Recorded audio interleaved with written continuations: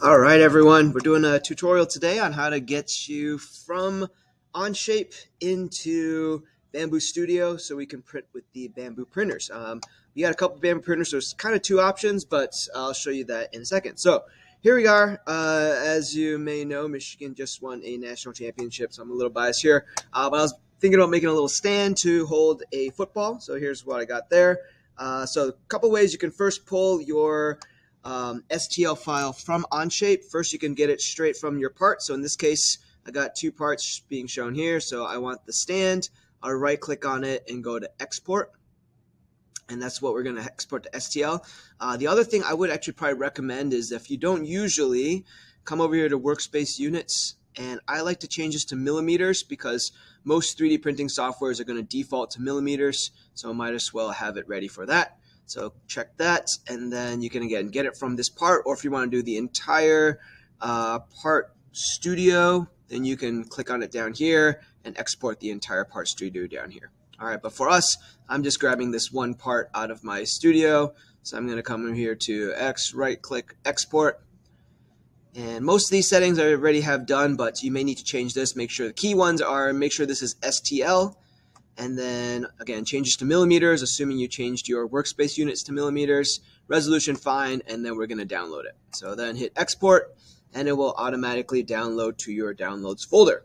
Next up we're going to your desktop. Assuming you're on a school desktop it should be on there already. If you're using your own computer then you may need to download Bambu studio. It is free to download so feel free to do that. Um, just you know google search Bambu studio and you can find it all right, like I said, if you're on a school computer, then it'll already be on there. Double click on that, and it will pull up this screen, or at least it should. Uh, something along these lines. Next, what we're going to do is come over here to New Project. okay, clicking on New Project. Uh, there might be some settings that may be preset. You can transfer those, not a big deal. All right, at this point, couple of key settings. First off, in the top left-hand corner, right, there should be a couple options. The black 3D printers that we have, the P1S. Okay, uh, again, I'll pull up a picture of that real quick just so you know which one we're dealing with. Uh, most of you guys are going to be printing to the P1S. Okay, and it's really, really important that you choose the right printer because depending on the printer, uh, sizing is a little bit different. So the one that you are looking for, uh, that most you will be printing to, will look something like this. Okay, again, it's got the black shell. It's a plastic shell as opposed to the X1C that we have, which while I'm kind of on this screen, we'll pull up X1C, has the silver metal um, shell or casing to it. Uh, ours also has the AMS, the automatic mixing system. So I'll cover that as well in this video, but for the most part, like I said, most of you guys will be printing to the P1S since we've got three of those. Okay, so I'm going to change that here. P1S 0.4 nozzle. And also plate type, we use the textured PEI plate. It makes it really easy to uh, remove your prints afterwards. Okay, here's kind of the good part. Add, this is where you're going to bring in your STL file. So hit that plus with the box next to it. Come over here to downloads is where we just downloaded it. And then here's that STL file. Okay, hit open, and again, it should be sized about right. Remember, the print bed here is approximately about a foot square, uh, so you can kind of get a feel for how big your piece is going to be. If it's coming out really, really small, then there's a good chance that you didn't change the units properly, or maybe you just didn't scale it properly, in which case you'll either change it back in your part, or if you want to come over here to uh, this button right here, you'll hit that scale button. You can change it, you know, if you want it twice as big, then you'll change to 200%. Or if you know the exact size of one of the uh, X, Y, or Z measurements, then you can plug that in in terms of millimeters. Okay, generally we'll keep the uniform scale. That way it'll do the sizing for every direction.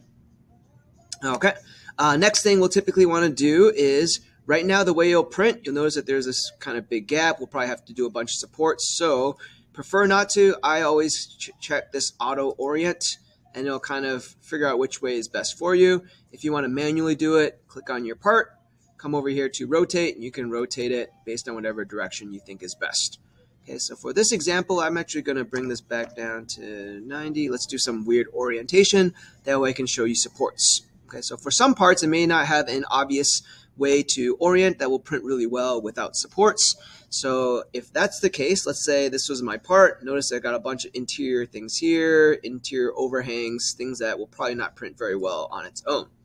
So come over here to support, click on enable support, and I would recommend playing around with this tree support, right? It has a couple of options, but tree auto is usually pretty good for what we're trying to do. And I'll show you what tree supports kind of look like here. Okay, so I'll go to slice plate now that I've got tree support enabled. And I'll do a little bit of work in the background here. And now I can kind of see how it's going to fill in my support. So notice it's got these little things that look like trees coming around the edges and it'll help hold the interior parts. And these are just a little bit easier to break off. Okay, but like I said, generally speaking, we're probably going to want to keep this uh, so that as much as possible we don't have to use supports. So I'm going to come back here to Prepare tab, click on this. Let's go in Auto Orient. And again, this is probably a better direction. Note if, if I go Slice now, then it won't have any of those supports because it's not necessary. Okay, but as much possible, if you can, try to plan so that you don't need to use support either in the orientation or when you actually go build your parts. Kind of keep that in mind. Okay, a couple things you might keep track of here. Total print time. So this one's going to take about two and a half hours. Uh, you can see the total amount of filament uh, is about 126 grams, something like that. Okay, so the cost would be give or take $3.17. All right, last thing uh, here, I'm going to go over here to export the plate. Right, and we're going to export it because uh, we don't have all the computers are not linked uh, to the cloud for the Bambu printers. So you're going to have to grab this little micro SD card from the printers. Uh, you'll plug that into a USB port. If you need help with that, let me know. But uh, you hit export. Once you have that USB drive plugged in, which I have it plugged in here as USB drive D, you know you can save it to whatever you want it to. I already saved mine earlier to football stand. It should save it as a file .gcode.3mf in order for you to send to the Bambu printers. Right, once you have that, hit save. You'll bring your SD card over to the printer, plug it in, find the print file, and then you should be good to go. Okay. Okay, at this point, that's ready for the P1S. The other part, if you're going to use the X1C with the AMS, meaning the automatic mixing system, what you're going to do differently is come over to X1C. You'll notice the X1C, the AMS has, for us, we have four filaments that you can kind of plug in and um, play around with. You can print multiple colors all at once. So the fun part for that is doing some painting. So let's say here's my part again. Let's say I want the M portion to be maize or yellow so it actually matches the school colors. And what I'll do is come over here to this color painting. Uh, I like to choose this one as a fill. Again, really helps if you properly did this in your modeling so you have nice flat clear edges of where your coloring would go. Um, if not, you can do it more as like uh, different shapes. So that's kind of just like painting randomly. Um, but like I said, as much as possible, fill is the way to go. So I would choose the other color, click on the surface I want to be a different color. I can do all these interior edges. Uh, you can play around with that depending on what you're trying to do. Okay, so again, this was just an example. Once I've got that ready, I'll click off from it. And you can see here, I'll do this little color block. So what colors you're going to use. Uh, when you're in the AMS, generally I try to match whatever colors in the same slots. Uh, it does do kind of this automatic guessing depending on what color you, it thinks you want to do. Um, so it does pretty good with that. Again, we'll hit slice plate, export, uh, and then you'll plug it into the X1C instead of the P1S. The only difference. All right, uh, I think that's pretty much it for the video tutorial. As always, if you need help, questions, let me know.